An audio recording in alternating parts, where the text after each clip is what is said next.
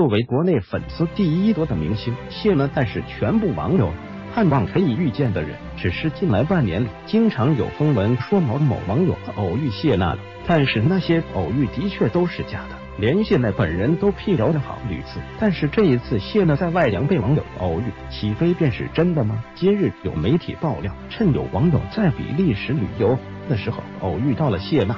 而且还发明随行的职员另有魏大勋、英采儿、颖儿等等。据悉，这是谢娜在外洋录制综艺节目，叫做《老婆的浪漫游览》。